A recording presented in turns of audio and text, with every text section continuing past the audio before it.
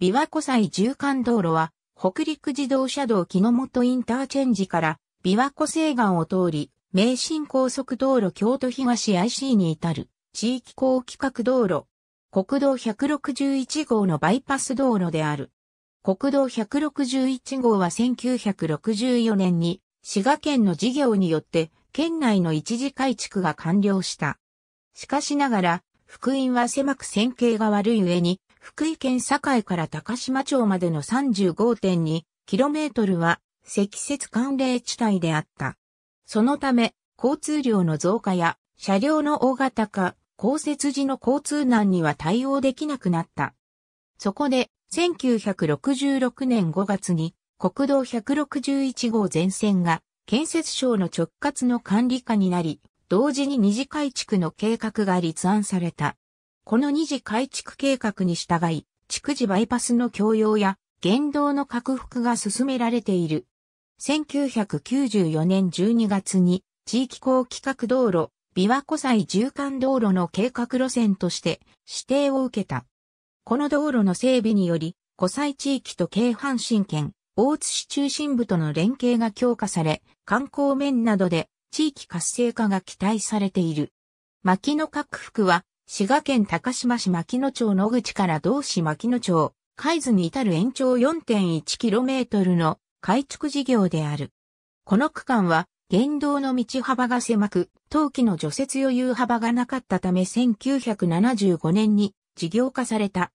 1978年11月18日に、牧野町、野口地先の狭い区間のバイパス道路として、野口局改めが暫定に車線で供用開始した。1998年には、牧野町海津地区の途半車線の設置をもって暫定開通。なお、第2校区は国道303号との分岐点より北にあり、本来の予定にある木の本インターチェンジ方面に向かわない場所にある。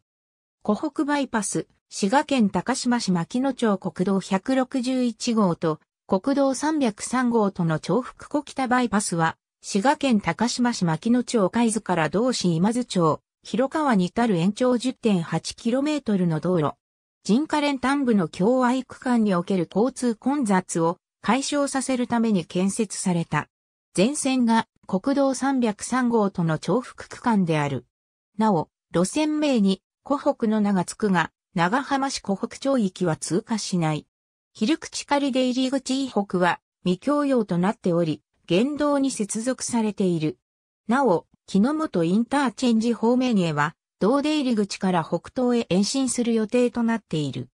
琵琶湖沿いを通過する高島バイパス、滋賀県高島市、勝野高島バイパスは、滋賀県高島市今津町広川から同志田下に至る延長 15.3km のバイパス道路。道の駅、当時の里和戸川付近の区間が側道のみの共用となっており、交通事故が多発している。国道161号の当時の言動は特に福音が狭く、第一期工事として1970年に着手、1975年に開通した。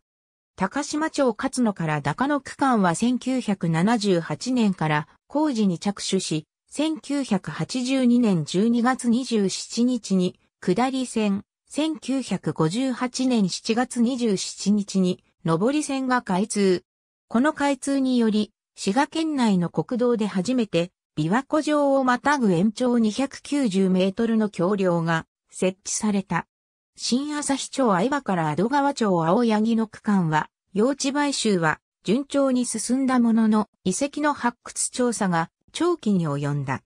2016年3月27日に、アド川北ランプと接続する、青柳北交差点の立体交差化工事が完了し、道の駅、当時の里アド川の北にある、青柳交差点に、新たなハーフランプが設置された。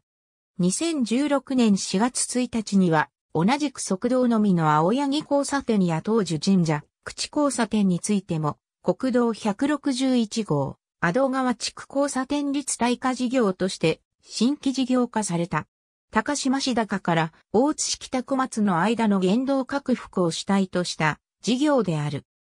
平面区間は1974年に高島市勝野から同市宇川までが片側に車線に拡幅され供用開始。1988年に高島市と大津市の境界付近 1km が片側1車線のまま移設され曲線が緩和されたが、広角間は2015年時点では、大津市北小松集落南方の滝川を渡る部分の基礎しか工事がされていない。小松各福の事業が進んでいない高島市、宇川付近の白髭神社に隣接している区間は、はじめは、琵琶湖側に道路を張り出す形で4車線化する計画であったが、環境や景観を保護するため山手にトンネルを通すルートが基本方針となった。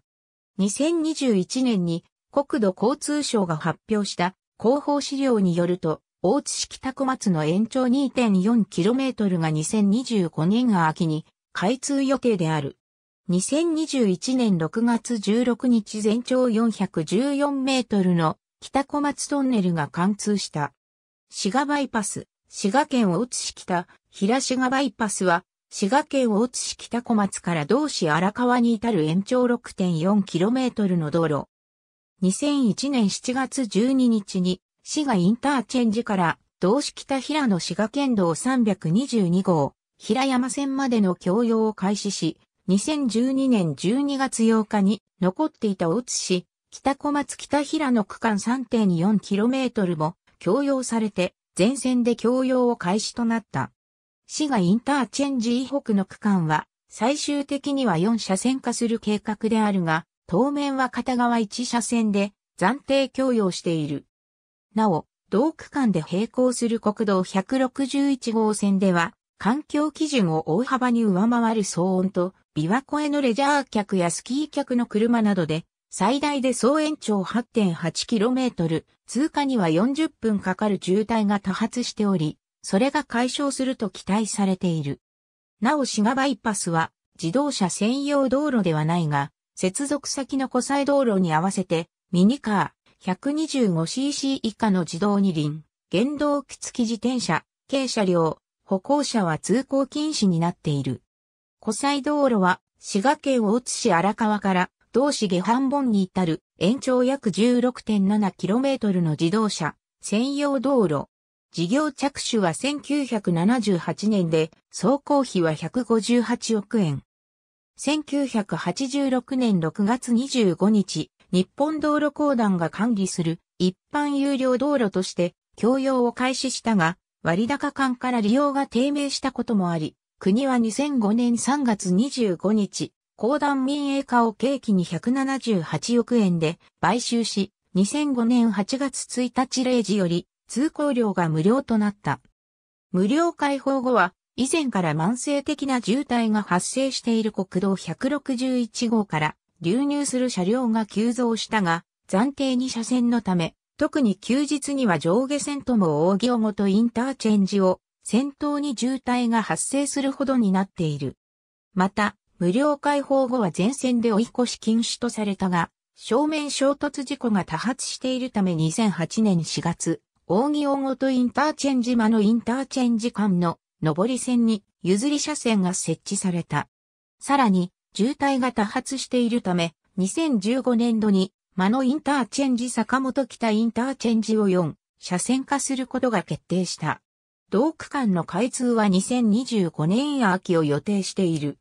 西大津バイパス、滋賀県大津市滋賀里西大津バイパスは、滋賀県大津市坂本本町から、同市大木一丁目に至る延長10.1 10.21km の道路。